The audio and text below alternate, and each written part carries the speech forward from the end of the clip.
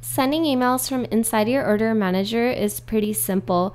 So here's a list of all of your orders and you can quickly filter by date range or filter by refunds, order statuses, quantity of items purchased, etc. If you're looking for a specific order, you can click on order ID or search by item title, etc.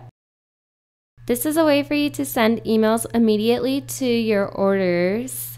So you would just come down here and click on these blank boxes next to the orders. You'll click up here on this drop down box above and click on send email. Once you click on send email, it will pop open a window where you'll be able to choose which template you want to use. As soon as you click on the template, it will show you a preview of the template and you can send yourself a test email if you would like. Now, these are the templates that you've already created inside your template manager or that we've supplied as the pre-built templates.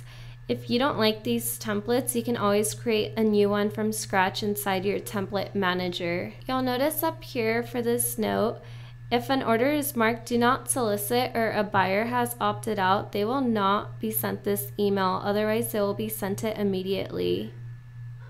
So you can go ahead and click continue. And once you click continue and select send now, it's going to fire off these emails quickly. If you have just signed up for FeedbackWhiz or want to target your past orders, you can quickly send these 100 people a manual email by clicking on send email right here and choose the template to fire out these emails once for all those 100 orders and you're able to send out up to 500 orders at a time. So sending out emails manually is very simple with FeedbackWhiz. Please subscribe to our YouTube channel and for more information please visit feedbackwhiz.com.